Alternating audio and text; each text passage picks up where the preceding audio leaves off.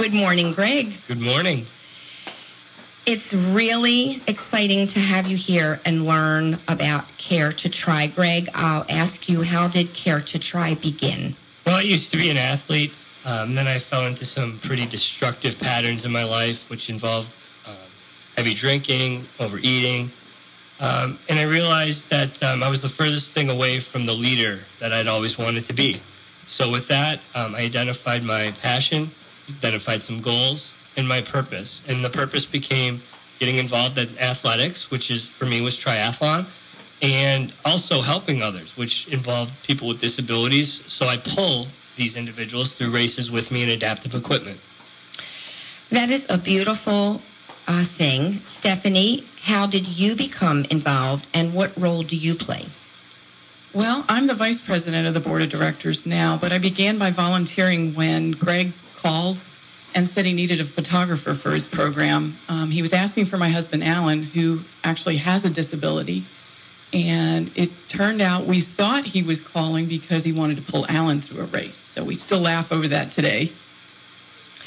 And um, as uh, as vice president of, of the board of directors, what do what do you do that's different than what Greg does, as far as your position? In my position, I do a lot of the back end stuff. I set up the races. I uh, make sure there's disabled individuals, make sure there's volunteers out at the races. Um, I'm the one that sets up a lot of the speaking engagements and the fundraisers, things like that. You, um, I, I looked at your uh, Facebook page, there's and, and your page on Facebook, and there's lots of um, very cool pictures and uh, you know um, in the water and um, very bright and cheerful, and and so and and water is very soothing anyway. Um, so I would imagine that that's you know why you are doing what you're doing, Greg. What is um, the exact mission of Care 2 Tri? You know, it's twofold. the first part of it is to promote the inclusion of these people because um, they are people. Um, well, oftentimes they're confined to wheelchairs. They're looked at differently in society. And we really want to be an advocate for them, but we also want to include them in something that otherwise they wouldn't have the opportunity to do. Uh, and the second part of it is I'm sure there's a lot of Gregs that were uh, where, I, where, I was four years ago, sitting on the couch, overweight, drinking, smoking.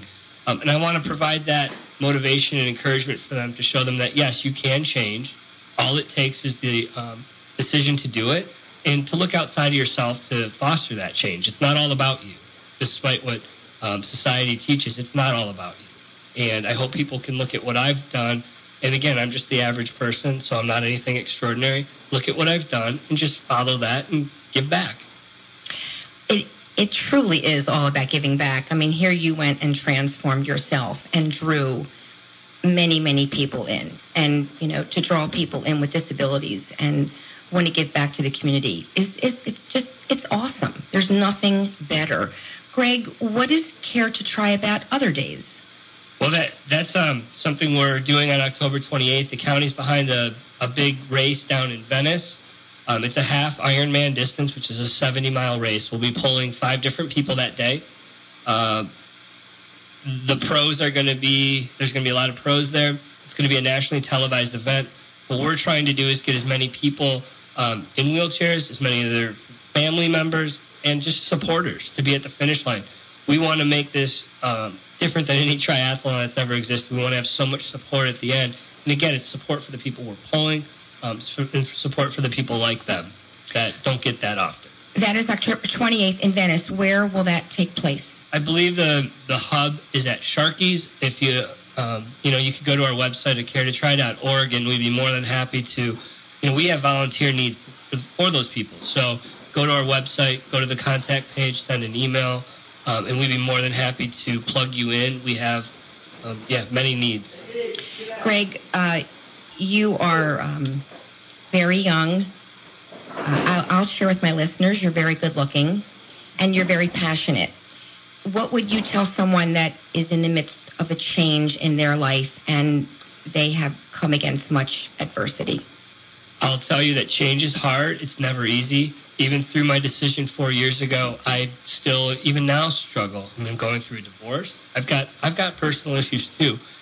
By having this larger goal, by having a purpose, and by having it not all revolve around me, I have not gone back to my destructive behaviors. But I'll tell you, if I didn't have, you know, the people that I'm racing with, the people that I don't even know I'm going to race with, um, I could have fallen back into it. So I'm no different than the average everyday person. You got to fight. It's a fight. Um, you didn't become who you are overnight. So to think that you're going to change it overnight, it just doesn't make sense. It's a fight, and you just got to stay with it and keep going. Well, Stephanie, let me ask you how has Care 2 Tri impacted you? Well, Care 2 Tri has changed my life definitely for sure. Um, first of all, I was thrilled when I met Greg, and Alan and I met him um, in his motto of promoting individuals with disabilities. Because with Alan's obvious disability, we understand how society reacts to that. And with someone like Greg who does not have a disability to want to promote them, it was something close to our heart. Secondly, I too at one point was very overweight and unhealthy. Um, when I joined Care 2 Tri, I learned that finding that purpose that goes beyond myself helps keep helps keep you going and helps motivate you to keep going for that purpose besides just worrying about yourself or looking at yourself. Well, I I know you. I I know Alan. I think you are amazing. I think Alan's amazing. Greg, I think you're amazing. What do you see, Greg, as the future of Care 2 Tri? You know, I would hope that uh, we would create a movement. We would leave an imprint on society when we're all long gone and dead.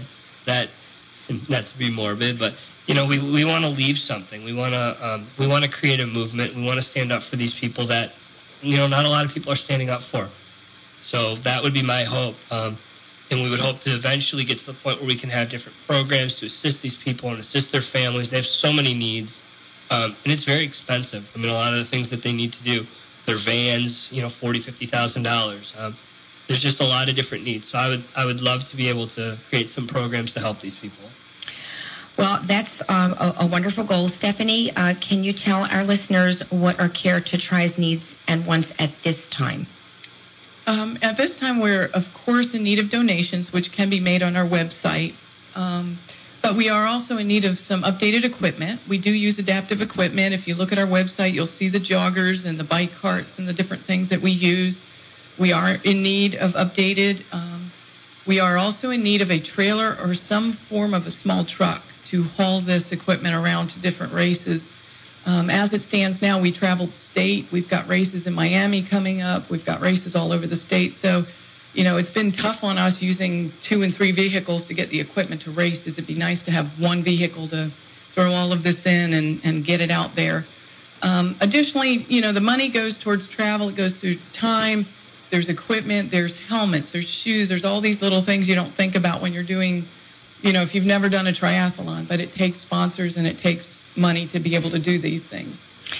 Well, uh, for our listeners, uh, you can reach Stephanie and Greg at uh, care2tri.org. That's care number two tri.org or 799-1680-941-799-1680. Mark your calendar for October 28th in Venice. Check their website as far as where the triathlon will begin, even just to come out and watch and feel good and donate a couple dollars to see, um, you know, this wonderful organization and who they help. It, it's amazing. Again, care2tri.org. Thank you so much for sharing with our listeners. You're listening to Gail Shane and Friends